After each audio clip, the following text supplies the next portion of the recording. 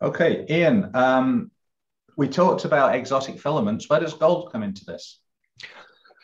So gold is one we're very excited to explore. And the reason why I say explore is because, uh, you know, as a startup, we, we have uh, limited resources for R&D right away. And uh, gold is, as we all know, very expensive. So once we get to the point of gold, we think that we'll be able to R&D and ha- have a, a gold formula of, uh, of our filament that will allow for uh, necessary targeted use cases within the aerospace as well as high-end electronic industries.